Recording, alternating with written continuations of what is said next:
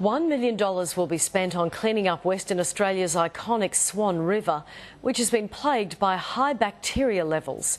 It's part of a national plan to improve the country's waterways, including the River Torrens, Yarra and Tamar rivers and Tuggerah lakes. Sky News Perth reporter Natalie Schenken has the details.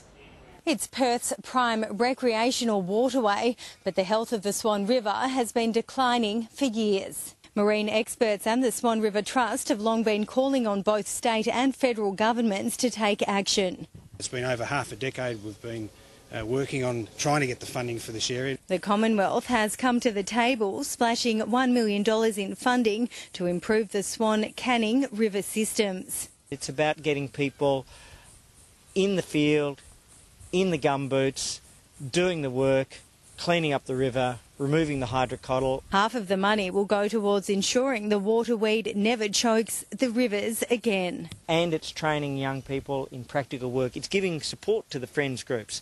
The announcement comes after more than a decade of toxic algal blooms that have caused mass fish deaths in oxygen-starved water.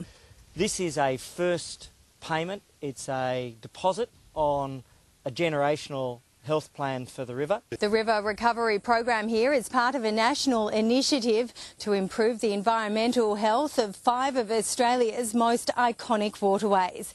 Natalie Schenken, Sky News, Perth.